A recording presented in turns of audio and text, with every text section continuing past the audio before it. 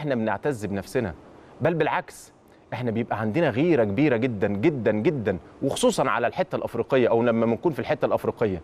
لما تتغلب ثلاثة تعالى لنا وإحنا نكسب لك اللي غلبك اللي غلبك ثلاثة لما تتغلب خمسة تعالى لنا وإحنا هنكسب لك اللي غلبك ستة. ما تقلقش من ده.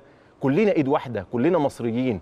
بنزعل لو حصل حاجة حتى لو كان الفريق ده بيني وبينه يعني حاجات مناوشات ومنافسات ولا حاجة لكن في الآخر إحنا واحد.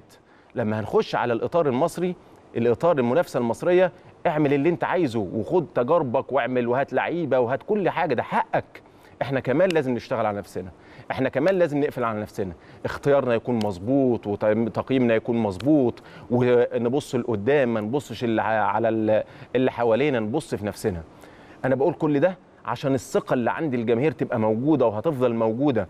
الثقة دي انت جايبها من التاريخ الثقة دي انت جايبها من البطولات الثقة دي انت جايبها من المواقف الثقة دي انت جايبها من الإنجازات الثقة دي انت جايبها من عزتك وكرامتك مع نفسك. انت جايب كل الثقة دي. ما تفكرش كتير. ومحدش يقولني حاجة زي ما قلت بعد إذنكم لو سمحتوا على اليوتيوب. أنا بفكر في الأهلي فقط. أنا بتكلم على الأهلي فقط.